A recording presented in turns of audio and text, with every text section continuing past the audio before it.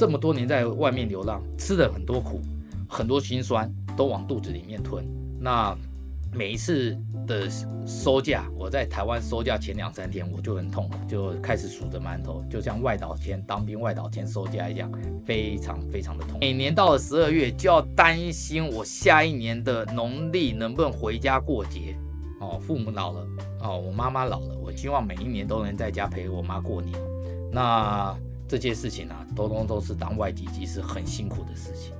好，那么呢，我做出了一个决定，到公司丢了辞呈啊，我希望要结束这一切。网红型男机长疯狂詹姆士，除了是位机师外，也斜杠当 YouTuber，经常分享飞航、旅游等专业知识，累积了超过十七万名粉丝订阅。近日詹姆士更新影片，沉痛宣布退休不干了，透露担任外籍机师这十七年来其实非常痛苦，同时曝光未来下一步。这个决定啊，大佬也是非常的遗憾。但是 soon or later 这个决定啊，这一天啊，它迟早会来。它不是现在到，它就是以后啊，终究会到。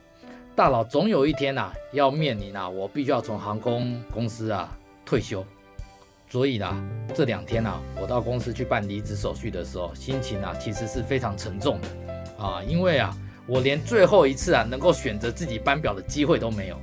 大佬离开过很多航空公司，都是莫名其妙哦，突然无预警的，就这个月要离开了。我没办法选择我最后一个班。那回顾这二十七年来，我从小从出生开始，打从我有记忆以来，我这脑袋里可以装得下记忆这个东西以来，我从小就要为了当飞行员这条路而努力。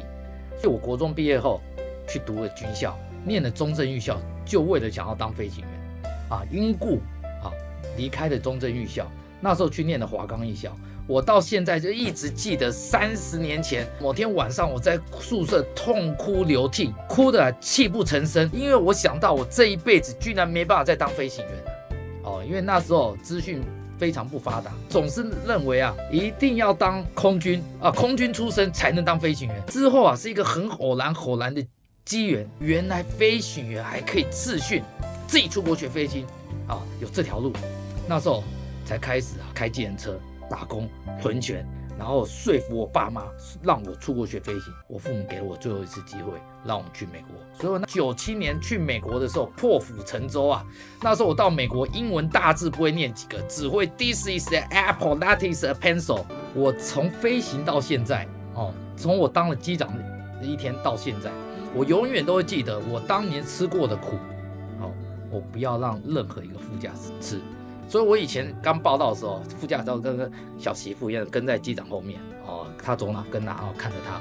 所以现在副驾报我报道，我都会跟副驾驶，哎，不要你自己做自己的事情啊，做这些事情我来做，弄弄完就差不多，你不要跟在我旁边这样子啊。你要做什么事情做什么事情，自己请随意啊，不要看着我的脸色做事情，不要哦，因为这些都是我以前经历过的事情，我经历过不好事情，我就不愿意让副驾驶在一同经历同样的事情。你们看到我现在非常的顺遂，我这一路其实过得不是非常的好。所有所有的航空公司你会遇到的都有一个问题，每个副驾驶都认为你这个外籍机师在抢他们的工作权，因为你在他那边，所以他们没办法升训。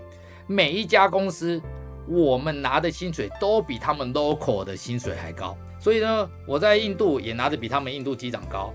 我在沙地阿拉伯哦，沙地阿拉伯特殊哦。我在中国那时候，中国大陆深圳航空薪水拿的比他们 local 机长高。我在日本也拿的比他们日本机长高。我就不知道这个航空圈到底是什么一一个循环，找老外，老外总总是比较高，但是我们又自己跑到外面变成老外，我们又比人家高。为什么这世界不能取得一个平衡点，都一样高呢？哦，那这么多年在外面流浪，吃了很多苦，很多心酸都往肚子里面吞。